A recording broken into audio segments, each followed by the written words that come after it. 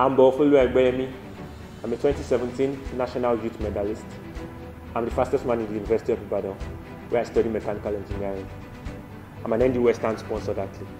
Although I haven't competed much as a senior athlete, the transition from the junior to the senior cadres has been seamless.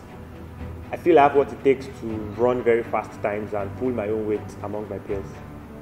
When people ask me what my goals are as per athletics for the next year, next two years, I always tell them I just want to run fast. I want to run really fast. I feel when I run fast, things will come, things will happen.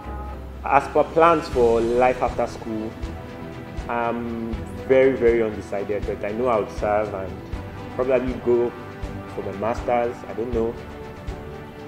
Whatever I do, I would want to make plans so that I can still train and do athletics full time. Ultimately, the goal is to become Nigeria's first mechanical engineer to win the World or Olympic medal. I really want to thank ND Western for the support so far and deciding to continue despite. I'm really grateful and I hope this will bring a lot of fantastic results.